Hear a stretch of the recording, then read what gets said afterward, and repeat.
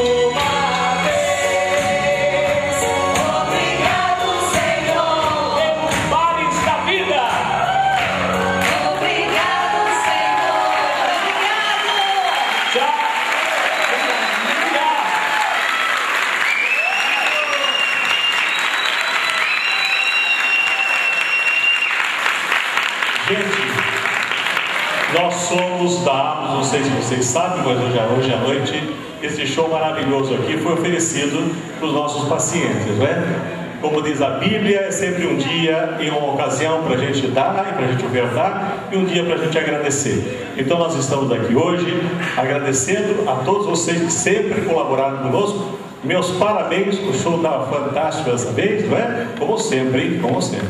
Mas hoje está particularmente muito bom. Eu agradeço muito a todos vocês também que estiveram aqui presentes. E mais uma vez, obrigado e contamos sempre com a sua presença. Viu? Obrigado.